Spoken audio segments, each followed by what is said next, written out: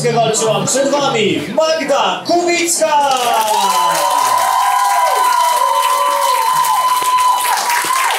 Dobry wieczór, dzień dobry, cześć, dzień dobry. Jakie pustki są przed mymi oczami. Dzień dobry, o jak to blisko. Dzień dobry, o dzień dobry, Państwo razem. Tak wyszło. Tak wyszło, o jacy zgodnie. Co najmniej 20 lat y, po ślubie, prawda? Czy nie? Trzy tygodnie. Słucham? Trzy tygodnie. Naprawdę? Trzy tygodnie po ślubie? Wow, czyli 20 lat przed ślubem, prawda? Fajnie, wow, trzy tygodnie po ślubie. Fajnie, jak się nazywacie, kochani? Remek i Maria. Remek i Maria. Remek, ty jesteś taki cwanieczkowaty, czy już taki najebany? Bo ja tu mam pewne wątpliwości. Jedno i drugie. Jedno i drugie, dobrze. Tutaj pareczka. O, dobrze, fajnie, zgodnie. No i dobrze. Długo razem? Pięć lat? No to kurwa dłużej od was. A po ślubie, nie po ślubie? Nie, a zaręczeni? A czemu? No ja właśnie go zaraz zapytam, jak masz chłopaku na imię? Michał. Michaś i? Daria. Daria, Michaś, co to się tam dzieje? Pięć lat? A Daria, no?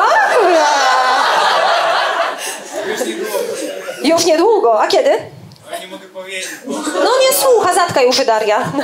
A Daria, to błagam cię, kurwa, powiedz, że dziś klękaj. Fajnie, fajnie, pięć lat. A wy się skąd znacie? Ze studiów. A, czyli pięć lat postudiowany. No to stary, skończyłeś już studia, już cię stać, nie? Czy nie? A co studiowałeś? Grafikę. No to kurde, człowieku, weź i tam zaprojektuj taki zajebisty pierścionek. Wydrukuj, wiesz, 3D i klękaj. A podoba mi się podejście Darii. No właśnie, kurwa, no, no słucham, no. Ja myślę, że to Daria wymyśliła, żeby tu przyjść, bo wiesz, ja lubię sobie pogadać z ludźmi na zasadzie, A żebyś a żebyś wiedziała, no dokładnie. Choć będzie tak bardzo śmiesznie, siadaj. Tak, siądźmy nie za daleko, chodź bliżej, bo ja, ja jestem ślepa, ja chcę dobrze widzieć, no. Tak na wprost, chodź, tak, chcę siedzieć jak w kinie na wprost. Mhm. Jak macie na imię? Daria, Daria! Fajnie. Daria i Michaś, ekstra, fajnie. Tutaj też widzę, dobrze imprezka trwa. Tu siedział wcześniej taki zdretowany pan, kurwa zdretowany. E, Pan, nie wiem czy, a pan ma, Boże! Zajebiste, ale podpucha, takie schowane za uszami, wow! I teraz pytanie, drety takie małe czy uszy takie odstające, nie? Fajnie, super, że pan jest, mega posiadałem, że pan uciekł, dobra. Bo tu widzę, rząd starszych osób uciekł. Ja się nie dziwię, słuchajcie. Ja się nie dziwię, że te osoby uciekają, bo w sumie stand-up to nie dla każdego, prawda, rozrywka. Ale dla Michała na pewno, jakby... Michał, byłeś kiedyś na stand-upie? Nie, pierwszy raz. A, a oglądałeś. Mhm, to tak jak pierścionki, kurwa, nie?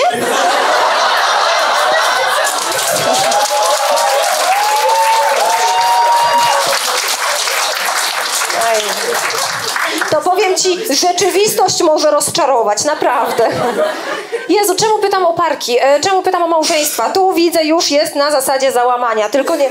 nie tu, tu jest widzę pozycja, no kurwa, nie wracaj do nas. No nie wracaj do nas, po prostu. Michał, Michał.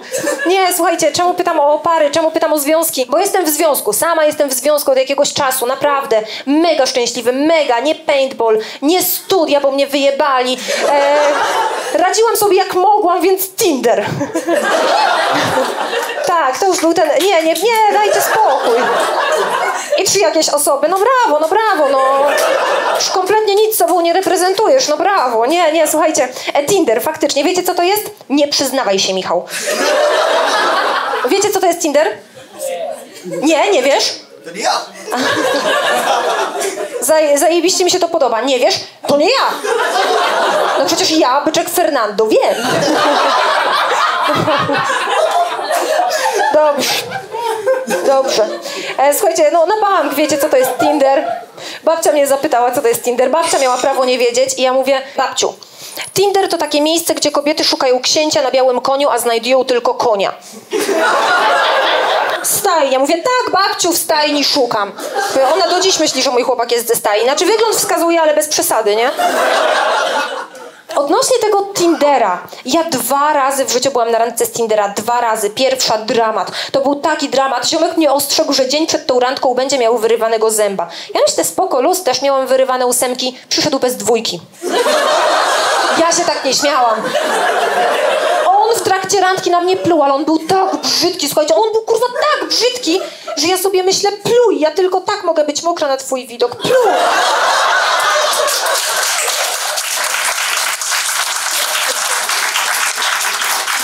Wiecie, ja siedzę oplut, opluta na tej randce, ja wiem, że z tej randki nic nie będzie, a on mówi, pędzie coś. Ja mam takie, skąd wiesz?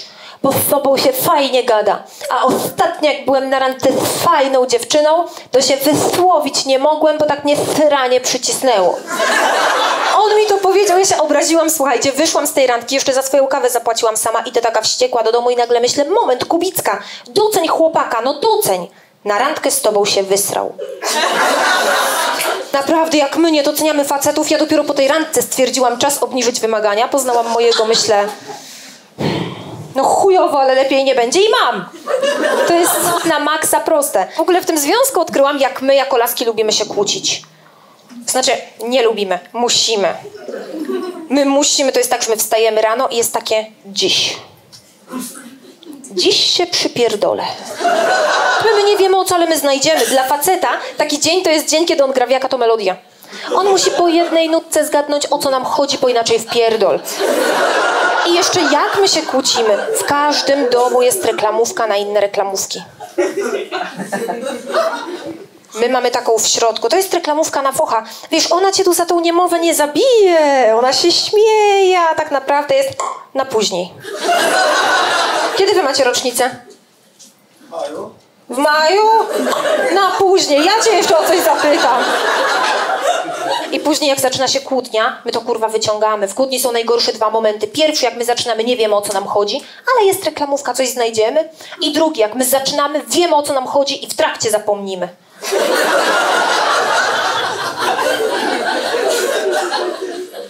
Nic tak nie wkurza jak to, że ja zapomniałam od czego się zaczęło. A zabić go za to, że zapomniałam trochę słabo. Więc ja wiecie, gadam, gadam, gadam, wymyślam, gadam, próbuję sobie przypomnieć, gadam. On mnie przeprasza, ja to kurwa wszystko wrzucam do woreczka na kolejny okres. On w końcu mówi przepraszam, ja pytam za co, bo kurwa nie pamiętam. Ale on już to wyczuł, my już jesteśmy jakiś czas razem. Ja, ja wstaję, mówię dziś, a on przepraszam. On mi jebie całą zabawę, nie? Ja się chcę bawić, a on to niszczy. Ma inne rozrywki, inne takie hobby, nie? E, ogląda mecze, tylko dzięki Bogu nie tak jak mój były. Bo mój były do meczu lubił sobie zajarać, nie? I pamiętam, że ja wtedy wychodziłam na maksa z mieszkania. Ja myślę, nie patrzę na to. I kiedyś po takiej, wiecie, po takim jaranku mojego byłego dostaję SMS-a, błagam cię, wróć. Myślę, coś się odjebało. Wracam, wchodzę do mieszkania, oni siedzą na kanapie. O, we czterech, tak jak wy tutaj. Zjarani na maksa, zero kontaktu, oczy bordowe i przed każdym puste opakowanie po intymnym żelu smakowym. Pomarańcz, marakuja, brzoskwinia, mrożący. Typa od mrożącego w ogóle pojebało, on ma jakiś atak.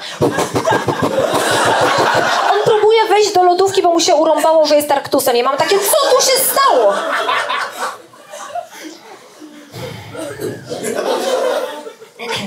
Było gastro. I zjedliście moje żele? Pyszny kisiel.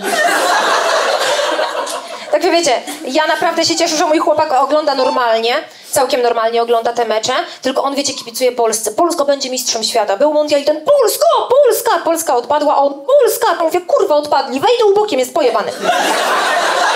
Wiara wiarą, patriotyzm patriotyzmem, ale to jest naiwne. I on do mnie, to jest naiwne?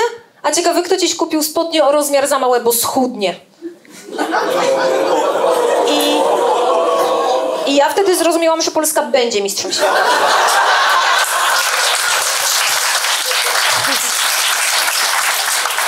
Ale w ogóle, a propos wiary w Polskę, a propos takiego patriotyzmu, moja babcia, bo to jest mój program o mojej babci, mój, no nie, kurwa, zajebany sąsiadowi. To jest program o mojej babci i generalnie y, moja babcia mnie wychowała, to jest mega ważne, bo moja mama, jak byłam takim małym dzieciakiem, to musiała wyjechać do pracy za granicę. Ojciec nie musiał, ale zobaczył, a matka się pakuje, ja też spierdalam, a babcie bolało kolano i się nie załapała na ciuchcie szczęścia, więc... Więc wychowała mnie babcia i ulubione zdanie mojej babci. Ja nie o taką Polskę walczyłam. Moja babcia miała dwa lata, jak była wojna. Ona mogła gównem w Niemca rzucać. Jakby rozpoznała, który w mundurze to jest Niemiec. Jakby tymi małymi rączkami kulkę z gówna ulepiła. Ale ona nie o taką Polskę walczyła. I ja sobie myślę, moja babcia ma poznać mojego chłopaka, jak ona go nie polubi. Nie, ale polubiła, spoko, polubiła, naprawdę, bo e, jak ja mam poprzeczkę nisko, babcia nie ma wcale. Naprawdę. Bo babcia jest naprawdę stara, babcia jest chora i ostatnim celem życia mojej babci jest doczekanie mojego dziecka. Ona chce mieć prawnuka, ona chce jeszcze jednemu pokoleniu spierdolić dzieciństwo. Więc ja jeszcze chłopaka nie miałam, a babcia mówi do mnie, Madzia, może jakieś dziecko? Ja mówię, babciu, jak dziecko, jak ja nawet chłopaka nie mam? Na co moja babcia? Oj Madzia, czasy takie nowoczesne, po co ci chłopak, jak są dyskoteki? To jest babcia, nie? Ona mojego chłopaka poznała i, i generalnie, wiecie, polubiła go, nawet go polubiła, on już wyszedł z mieszkania i moja babcia mówi, fajny chłopak, fajny, ale ty się jeszcze nie angażuj.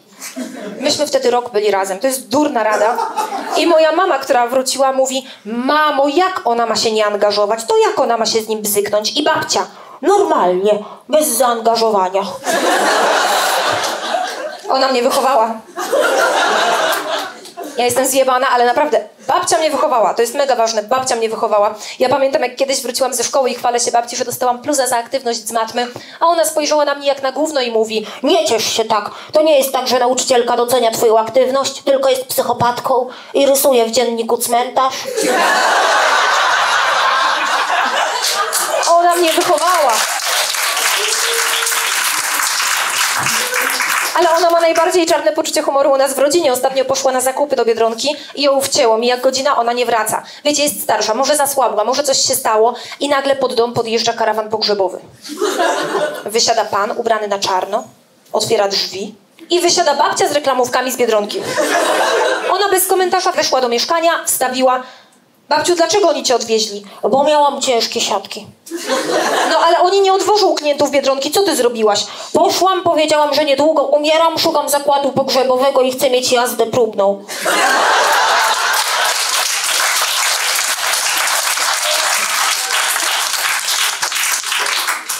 Słuchajcie, my jesteśmy komikami, my dużo jeździmy, dużo podróżujemy, dziś Warszawa, jutro nie wiadomo co. I ja kiedyś tak spędziłam sporo czasu w pociągu, bo to jest norma, że się dużo czasu spędza w pociągu. I wracam do domu, akurat odwiedzam babcię i chwa chwalę się. Dzielę się taką durną myślą, że gdyby święty Mikołaj jeździł PKP, miałby takie opóźnienie, że dziś dostawalibyśmy swoje wymarzone prezenty sprzed wielu, wielu lat. Na co moja babcia? O, a po co mi teraz wibrator, jak dziadek w końcu sztywny? Słuchajcie, ona mnie wychowała, ale to też jest śmieszne, bo ona mnie wychowała na jednej bajce. Całe dzieciństwo był tylko czerwony kapturek, nic innego, nie? Całe dzieciństwo, noc w noc to był czerwony kapturek. I ja jako dzieciak zawsze myślałam, że czerwony kapturek była pojebana. Bo ona zaprowadziła wilka do babci. No kto prowadzi wilka do babci, nie? I ja zawsze myślałam, że to głupota, a dopiero niedawno zrozumiałam, że to nie jest głupota, to po prostu była pierwsza w historii eutanazja. Nieudana, bo się leśniczy wpierdolił, ale pomysł przetrwał, nie? Tak samo babcia coś z tym wilkiem miała, bo zawsze było nie siadaj na betonie, bo złapiesz wilka. Nie siadaj na schodach, bo złapiesz wilka. I kiedyś zapytałam, babciu, a na czym siadałaś ty, że złapałaś raka? Uwielbiam ten żart. Właśnie, właśnie go uwielbiam, bo macie takie o babci? Wy w tym bardziej lubicie moją babcię niż mnie. To jest okropny żart, ale słuchajcie, to nie jest tak, że jak go mówię, a moja babcia go nie zna. Nie mogłabym, takie mówię, babciu, kiedyś przyjechałam do domu, mówię, babciu, mam program o tobie, słuchaj. I powiedziałam babci wszystkie żarty, żeby zapytać, czy mogę je mówić. I moja babcia tego wysłuchała w ciszy. I mówi na koniec, fajne, fajne, ale ja bym chciała umrzeć przed premierą. Babcia żyje jakby co, babcia żyje, macie bardzo dobrze. Ale ale słuchajcie, ogólnie starsi ludzie są mega zajebiści, bo starsi ludzie, oni nie mają na nic czasu, wiecie, oni się nie pierniczą w konwenanse. Chce coś powiedzieć, to mówi. Jakby ma swoją ocenę, to ją wypowie, tylko wcześniej starsi ludzie odpalają takie kurwiki w oczach. Zobaczcie po swoich dziadkach, to są takie kurwiki w oczach, no nie? I inny przykład odnośnie zajebistości starszych ludzi. Jadę w pociągu, jadę ja, jedzie sobie, yy, nie wiem, jakaś tam parka, ale jedzie też dziadek i dziadek obserwuje całą sytuację. I dziewczyna się przypieprza o wszystko, że kanapki nie wziął, że czegoś tam zapomniał, że w ogóle jak on wygląda, że po co on się urodził, że ona żałuje tego związku, dramat, nie? Ale sytuację obserwuje też dziadek. I nagle dziadek odpalił kurwiki. Ja mam takie, o, dziadek dowali. I zrobiła się cisza w przedziale, a dziadek do dziewczyny. O, moja żona też tak marudziła, jak była w ciąży.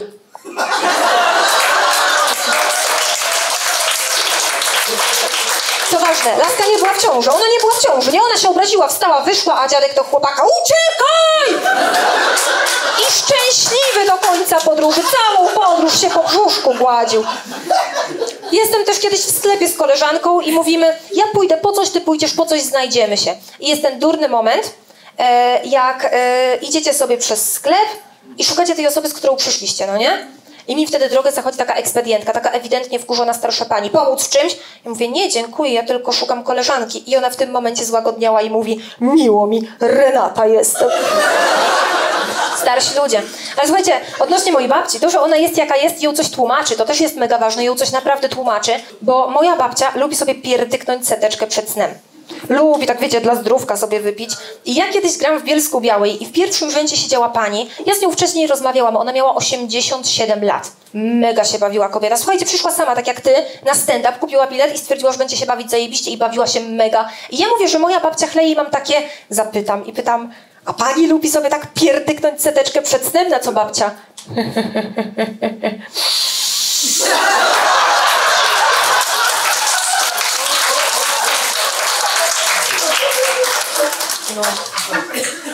Babcia z Białego Stoku.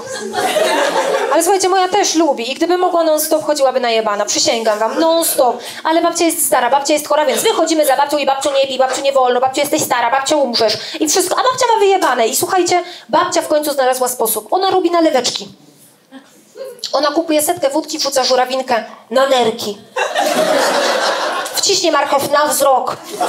Ostatnio dostała sraczki, nie wiedziała co zrobić, rozpuściła trzy stoperany. Babciu, nie pij tyle, ja się leczę. Z moją babcią nie wygracie, no nie? I ja byłam chora, miałam zastrzyki mieć robione w brzuch. Babcia jest emerytowaną pielęgniarką. Ja stwierdziłam, no kurwa, no kto zrobi jak nie babcia? Pojechałam, wchodzę do mieszkania, babcia pije. Mówię, babciu, pijesz przed zastrzykiem? Nie piję, to jest złopin koło orzecha na pamięć. Ja już nie pamiętam, jak te zastrzyki się robi. Ja mam takie, ale ty mi trafisz w brzuch? Nawet nie zamierzam próbować. Ja trzymam strzykawkę, a ty uderzaj brzuchem. Babcia. Odnośnie tej historii z zastrzykiem, to jest taki przykład, że nie wszyscy starsi ludzie są spoko, naprawdę nie wszyscy, bo jadę pociągiem na ten zastrzyk i obok mnie siedzi inna starsza pani. Ja zaczęłam kasłać. Jak ta się nie uruchomi, żeby taka chora do pociągu wsiadała z grypą. Ona mi diagnozę postawiła. Pani Boga w sercu nie ma, sumienia pani nie ma, ja się zarażę, ja umrę, nawet na tym sumieniu pani mnie nie będzie miała, bo pani nie ma. Ja nie o taką Polskę z pani babcią walczyłam, żeby mi chora młodzież pociągami jeździła. Słuchajcie, robi się opóźnienie, ona zawołała konduktora, pociąg stoi, ona żąda, żebym ja wysiadła, bo mam grypę. Ja to chciałam uspokoić, więc mówię, spokojnie, to nie jest grypa, to tylko alergia na stare kurwy.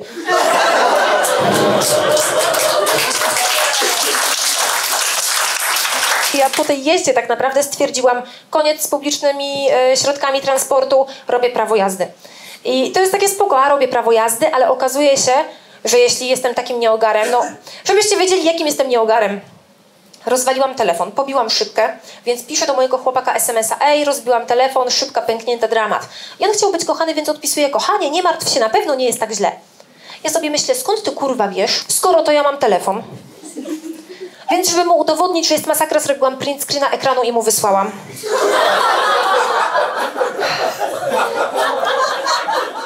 Nie musicie tego wyśmiewać, ja wiem teraz. Ja teraz już znam zasady. Ale on mi napisał, on mi odpisał, wiecie, SMS-em, kochanie, przepraszam.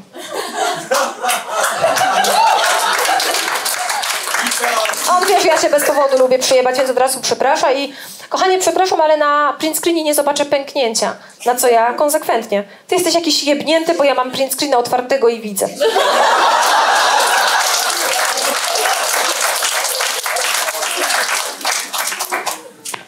I teraz ja robię prawo jazdy. Po tej historii to brzmi inaczej. Ja poszłam w ogóle na badania lekarskie, bo od tego się zaczyna. I na badaniu lekarskim nie można nic zjebać, no chyba, że się jest mną. To jest calka metr na metr, mniej więcej taka odległość między mną a lekarką. Ona zadała dwa pytania, po czym mówi, proszę stanąć twarzą do ściany. No to ja się rozebrałam, nie wiem po chuj, nie wiem. Badanie to badanie, prawda? Stoję w tych za małych stringach, bo Polska jednak nie jest mistrzem świata. Jeszcze się dupą do niej odwróciłam, ręce podniosłam. No chuj, ja czekam na zabawę, nie? I słyszę takie, proszę podskoczyć. To jest durne polecenie, ale wiecie, ona decyduje, czy ja zaczynam kurs. Ja mam wyjebane. Ta-da! I słyszę takie po chwili, a teraz proszę ręka na pośladek i nucimy niemiecką kolendę. Ja to słuchajcie zrobiłam. Odwracam się, a baba się dusi ze śmiechu. Ona jest bordowa ze śmiechu. Ja mam takie żart, a ona tak. Bo ja chciałam pani zbadać wzrok. Tablica jest tam. No ale skoro się pani rozebrała i stanęła jak na rozstrzelaniu, chciałam sprawdzić, dokąd dojdziemy. Także zaświadczonka jeszcze nie będzie, jeszcze badanie psychologiczne. Dziękuję. I ja mam takie żart, a ona nie. I nie wiem, czy ktoś z was był. Michał, byłaś na badaniu psychologicznym? Nie. Nie, a widzisz, a ja byłam, kurwa. Z podejrzeniem ekshibicjonizmu. Grudzień, wchodzę do tego młodego ziomeczka, taki młody doktorek siedział, wchodzę, kładę mu tą kartką, spojrzał na mnie jak na gówno i ma takie, no dobrze, proszę usiąść, rozebrać się, mówię, spierdalaj. Trzy godziny badania, czapka, szalik, rękawiczki, nic nie zdjęłam, nie złapie mnie na detalach. Stwierdził, że jestem normalna, o dziwo, stwierdził. I ja zaczęłam kurs i się okazało, że to jest dramat, słuchajcie. Ja naprawdę nie ogarniam, kompletnie nie ogarniam jazdy. Ja mam trzy pedały, dwie nogi, mnie to przerasta. Andrzej to jest mój instruktor, on ma ze mną krzyż pański, że on ze mną musi jeździć, nie? Zanim zaczęliśmy kurs, wszyscy mówili, Andrzej, taki fajny instruktor, on tyle żartów opowiada, ale wy się dogadacie. No żartowniś w chuj, co jazdę słyszałam? Zdasz, zdasz, zdasz. Ja jazdę ogarniam tylko w teorii. Ja wiem, że, wiecie, dla mnie równorzędne to jest jak matma. 2 plus 2 jest 4 na równorzędnym ten, co z prawej. Dojeżdżam, karuzela. Ja nie mam pojęcia, kto jedzie pierwszy, zamykam oczy, jadę się akurat modlę, żeby nic nie jechało, żeby w nic nie przyjebać. A jeszcze Andrzej ma takie pytania niespodzianki. Najczęściej, jak ja jestem na równorzędnym albo skręcam w lewo. No super moment, nie? Ja się modlę o życie, Andrzej, a co znaczy znak z samolotem? Samolot ma pierwszeństwo, spierdalaj. Parkowanie. Andrzej mówi, zaparkuj między Audi a Skodą. Panie Andrzeju, kolorami, kolorami. Andrzej to facet, zabawa trwa dalej, między czerwonymi. Panie Andrzeju, gdzie? Tam. Ja pierdolę, bordo malinowy. No nie możemy się dogadać, ale wiecie, Andrzej odpuścił, Andrzej mówi parkuj gdzie chcesz, więc parkuję na kopertach, bo najszersze, więc... Bardzo proste. Tylko muszę jeszcze wymyślić, jak zdobyć grupę inwalidzką i będzie zajebiście. To jest teraz mój cel. Nie nauczyć się parkować, tylko zdobyć grupę i będzie super. Ale też e, ja robię prawkotów w Warszawie, to są mega zestresowani kierowcy, ciągle trąbią, krzyczą. Ja ostatnio utknęłam na rondzie, tak jak zjeżdżam, że mi zgasł. No kuźwa zajebiste, nie całe rondo zablokowane, bo ja stoję, nie? Więc uhu, i mi tak zgasł i ja usłyszałam trąbienie. Już jestem tak znerwicowana, że zareagowałam jak debil. Przestań trąbić, uczę się! I Andrzej...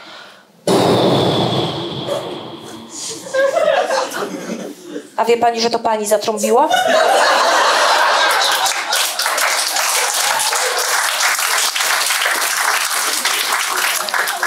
I mam pytanie, Michał.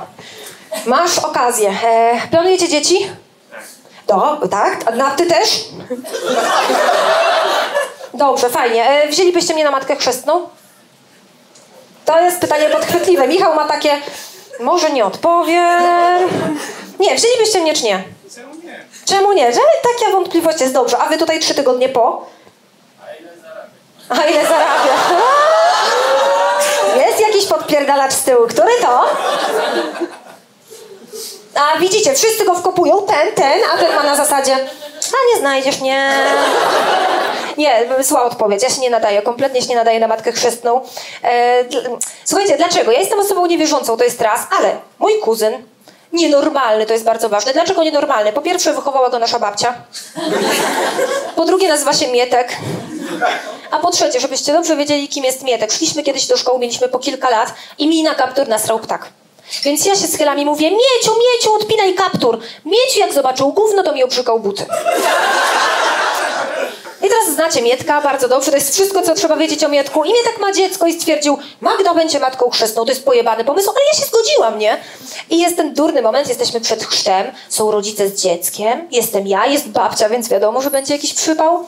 I mój brat podchodzi do mnie, daje mi taką białą szmatę z takim wyrytym krzyżem i mówi, masz? Ogarniesz. No kurwa, wszystko wiem, nie? Pełne instrukcje obsługi, jakby wszystko wiem.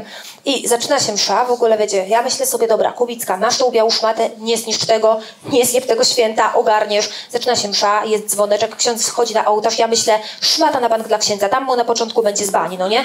Myślę, zajmuj strategiczną pozycję, on sobie usiadł i ja myślę, dobra, wchodzę, weszłam na ten ołtarz, podeszłam do księdza, wyciągam szmatę i takie...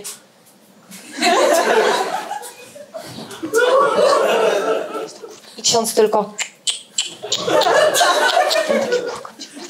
I z tyłu słyszę, kurwa, po co my cię braliśmy? Wracaj tutaj, babcia, ja ja taką Polskę walczyłam. Dramat.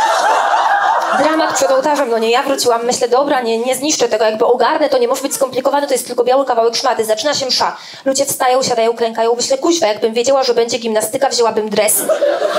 I w tym momencie idzie do nas ksiądz, on do nas podchodzi i dziecku na główce jakimś śluzem, smarem czy czymś rysuje krzyżyk. Ja myślę, kuźwa, mam szmatę. Nie do tego! I faktycznie, słuchajcie, ksiądz za moment wraca, on leje dziecku łeb wodą, on leje, ja wycieram, on leje, ja wycieram. Zajebista zabawa, zajebista. Żadnego normalnego zdjęcia nie mamy z na każdym leży i wycieram dziecku łeb szmatą. Ona ma dwa latka, do tej pory jest łysa, więc... I ja usłyszałam to nie do tego. Myślę, jak nie do tego? Faktycznie ksiądz na podłogę nalał. Jak ksiądz zobaczył, że ja wycieram podłogę szmatą chrzcielną, to mi powiedział, ja pani powiem kiedy. Zajebisty typ. I wiecie, ja już tak spokojnie i stoję i on w końcu podchodzi, patrzy na mnie jak na gówno i mówi teraz matka chrzestna kładzie szatkę na dziecku. On mi rozjebał mózg. Ja mam brudną szmatę do podłogi. Wielkości dziecka. Gdzie? I zadałam księdzu najgorsze możliwe pytanie. Przepraszam, na twarz czy na ciało? I ksiądz spalił takiego buraka i tak po cichu, żeby nikt nie słyszał, mówi na ciało. Na twarz nie wypada. Ksiądz, a wie?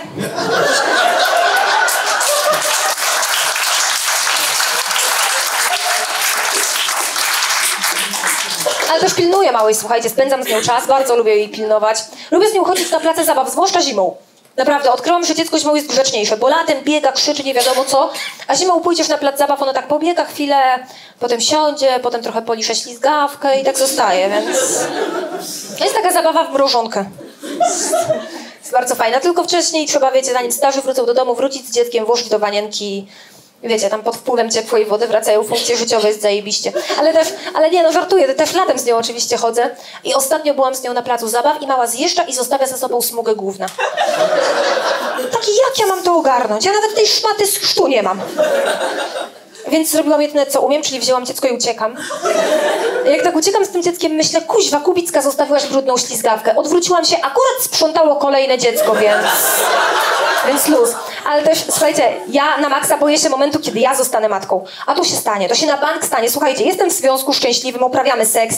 I e, wiecie, ja nie umiem być zmysłowa, nie umiem być taka seksowna, taka zajebista. Ja patrzę na te laski w reklamach, w filmach, ja im tak zazdroszczę. Słuchajcie, ja nie umiem być zmysłowa. Autentyk. Chłopak mi kiedyś powiedział, że ja nie inicjuję seksu. I mój argument. Jak nie inicjuję, skoroś to ciebie w łóżku twarzą odwracam? To jest mój poziom inicjacji stosunku. I teraz słuchajcie, jak mój chłopak chce coś, to musi kombinować, naprawdę. Na szczęście złota rączka, naprawdę z mojego chłopaka złota rączka kombinuje jak umie. I a propos tej złotej rączki, on ma taką skrzyneczkę w domu. I tam ma śrubki, kręciki, uszczeleczki, chuj wie co, chuj wie skąd, ale ma. I jemu się raz na jakiś czas Bob budowniczy odpala. On idzie do łazienki, on będzie wymieniał uszczelkę, nie? On tam po prostu wchodzi jak maczo, zamyka drzwi i są trzy etapy remontu. Pierwszy huk, hałas, blok się wali. Drugi śmiertelna cisza. I trzeci, on wychodzi, tuli tą skrzyneczkę i mówi trochę się rozjebało, ale to naprawię. Takie trzy etapy. I słuchajcie, e, ja się nie czepiam, kompletnie nie, bo mi też czasem odwala. Mi się czasami wydaje, że ja umiem być seksowna. I, i słuchajcie, ostatnio jadę w trasę, myślę, ale ja mu pierdolę striptizik. Ostatnio widziałam w filmie Umiem. Mm. Ja poszłam do sklepu, kupiłam świece, kadzidełka, płatki róż, taki zajebiście obcisły kostiumik, taki wiecie, o rozmiar za mały dla zasady. Zbrakło mi hajsu tylko na taki seksowny szlafroczek, więc byłam w takim misiu domowym, zalanym kawą, takim przypalonym, ale cicho. Odpaliłam to wszystko, te świece, te kadzidełka, ja zasłonę dymną zrobiłam. Zrobiłam dwa mega mocne driny, sama woda i dwie krople soku. Sobie na odwagę jemu, żeby jutro nie pamiętał. On wraca z pracy, ja mówię siadaj, on usiadł. Ja stoję, muzyka gra, świece się palą, płatki róż wysypane i co dalej? Te laski po prostu mega fajnie tańczą, a co ja mam zrobić? Ja mam takie, no już żałuję. Już mi się nie chce, mi się już na focha zbiera, słuchajcie. Już trzy piosenki przeleciały, dwie reklamy tamponów. Myślę, no kurwa mać! I mam takie, no dobra, spróbuję, nie? Biodro w prawo, bez sensu kompletnie, nie? Biodro w lewo, ja wy, wiecie, wyczujcie klimat, to jest po prostu jakiś dramat dla mnie. Ten siedzi, czeka nie wiadomo na co, już mu się szczać chce. Ja mówię, siedź, czekaj, będę tańczyć, nie? I mam takie... Wiecie, ja, to, to, to trwa tak długo, że płatki zwiędły, kadzidełka się wypaliły. Ja już schudłam, już kostium jest, za, wiecie, za duży, nie? Ja mam takie, no i co dalej, nie? I w tym momencie, jak robiłam taki delikatny obkręt, patrzę wódka. Wzięłam swojego drina i go wyzerowałam. I mój chłopak patrzy i mówi, ty, to co chcesz zrobić jest aż tak złe? Ja mówię, nawet sobie nie wyobrażasz. I wzięłam jego drina i też wyzerowałam. I powiem wam, że woda działa cuda. Jak ja się odpaliłam, jak ja w sobie kocicę poczułam, jak ja zaczęłam tam dęsić, słuchajcie, zrzucać z siebie ten szlafrok i w ogóle do niego. Pęperępy, zrobiłam trzy kroki, przy czwartym się potknęłam o końcówkę szlafroka, upadłam, uderzyłam głową w kantłuszkę i straciłam przytomność. Ja się obudziłam 15 minut później. Mój chłopak stał nade mną spanikowany, słuchajcie. Szatką z chrztu mi ścierał krew z czoła. Trzymał skrzyneczkę i mówił spokojnie. Trochę się rozjebałaś, ale to naprawię, więc...